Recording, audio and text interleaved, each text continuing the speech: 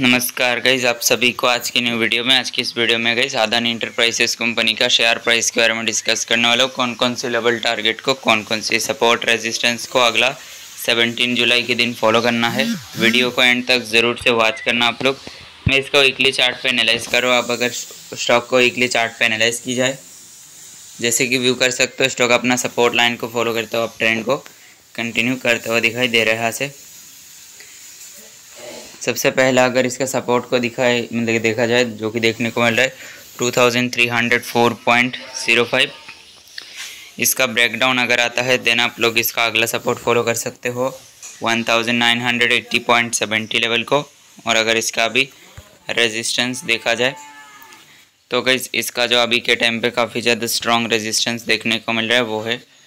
two thousand five hundred sixty three point ninety इसका काफ़ी ज़्यादा स्ट्रॉन्ग वाला रेजिस्टेंस लेवल दे, देखने को मिल रहा है। अब इसका 15 मिनट का टाइम फ्रेम पे चार्ट को व्यू करते हैं और लेवल्स देखते हैं क्या कुछ बन रहा है। अगर 15 मिनट टाइम फ्रेम पे इसका व्यू करें तो ये जो एक पॉइंट है ये वाला ये गई जिसका पहला 15 मिनट का सपोर्ट है।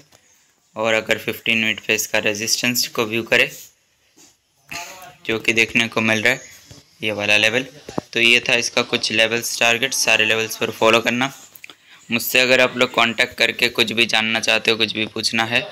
तो चैनल का अबाउट पे कांटेक्ट मिल जाएगा, वहाँ से कांटेक्ट कर सकते हो।